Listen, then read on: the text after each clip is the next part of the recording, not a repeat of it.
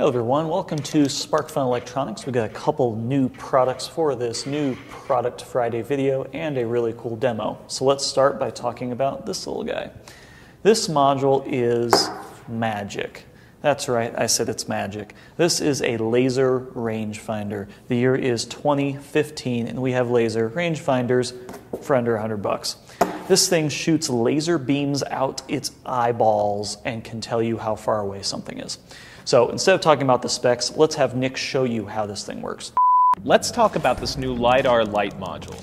The LiDAR Lite is a LiDAR module that's easy to interface with and gives you very accurate distance up to 40 meters from the module. LiDAR is a technology much like radar, except instead of using radio waves, it uses lasers to find the distance. One of the advantages of LiDAR over something like ultrasonic or short range infrared is that it has a very long range of detection. Like I said, it's up to 40 meters. So this is good for indoor and outdoor applications where you have a long distance between you and the object that you want to detect. Another advantage of LiDAR is that you can read from it very quickly. So you can actually take a whole lot of readings at once, which means that you could do something like put this module on a turntable and spin it to create a map, sort of like the old radar screens that you see in submarine movies. Um, and you can spin that very quickly and still come up with a very high resolution uh, image of your surroundings. The nice thing about the wavelength of light that it uses is that it works outside in the sunlight really well. So you don't have to worry about taking it from an indoor application to an outdoor application and having to recalibrate and figure out how much the infrared from the sun is screwing with your measurements uh, because it has filters and optics and uh, the technology itself is inherently fairly resistant to the sun. I'm going to put this module through its paces today by trying to use it to navigate inside this room. I've built a pretty simple demo here where I've taken the module and put it on the front of this pair of glasses, which I can't see through. I've put electrical tape on the front of them.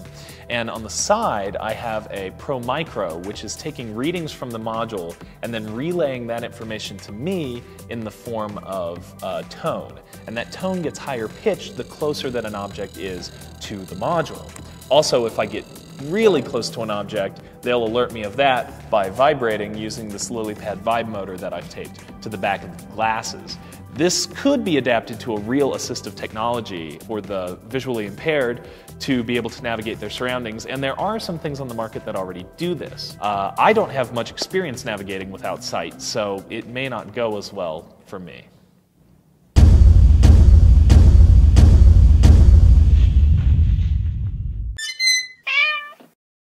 Activating LiDAR. Commence disorientation.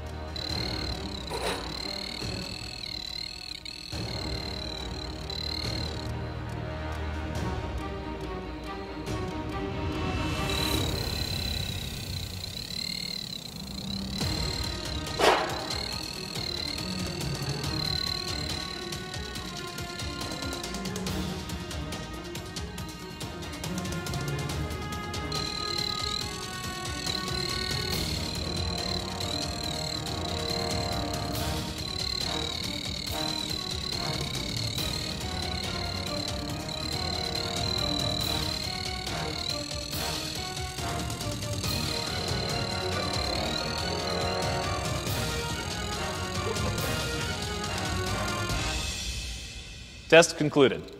Hypothesis confirmed. Oh, classic Nick. Next up, we've got a new 3D printer. This comes from Aleph Objects. This is the Lulzbot Mini. This is an update and a smaller version to the Taz 4. Has a lot of um, new interesting features and a smaller build volume. It is about that big. It has a 6 by 6 inch by 6 inch build volume, so it's a lot smaller than the Taz 4. However, it has a lot of cool features that the Taz 4 and a lot of other printers on the market don't have. Um, for instance, you see it has this nice aluminum frame to it, and it's just kind of a lot more compact, it's easier to fit on a desk and whatnot. It has this little um, arm that comes up for your spool holder and retracts when not in use.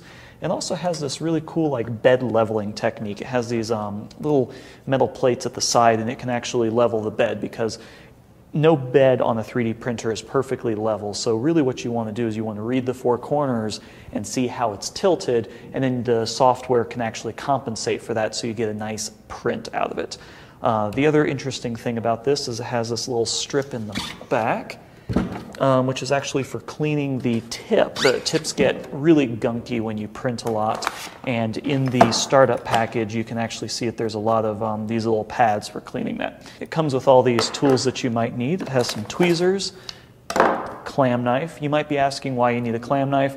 Clam knife is great for prying up your um, objects from the base of the printer. We've got a cable, of course, got an Allen key, another cable, um, just a couple little picks and whatnot to scrape all the um, dried plastic off. We have these little strips for the tip cleaning. And then it comes with this really cool little thumb drive that has the software and whatnot on it.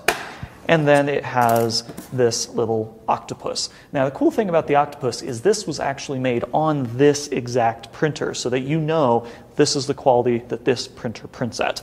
Um, it's something that they have always done. It's kind of a cool thing that you know that this unit was QC'd, you're not going to have issues with it, and you know that it was actually tested by people for the simple reason that they're open source and they're built here in Colorado. We also like the fact that each unit is hand assembled and hand tested, so it's not just this thing that's, you know, on some assembly line and you might get it and you find out that it's completely miscalibrated you know exactly what the quality of this printer is going to be when it shows up. So if you want a printer that you don't have to mess with, you don't have to, you know, try and calibrate for six months, you can just go on their website, download the profiles for the filament, hook it up to this printer, and you're good to go.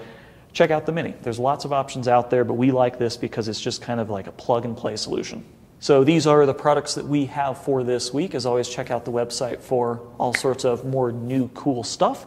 And if you're looking to get into 3D printing, check out the Mini. And of course, laser rangefinders 2015, awesome stuff. See you guys next week with even more new products.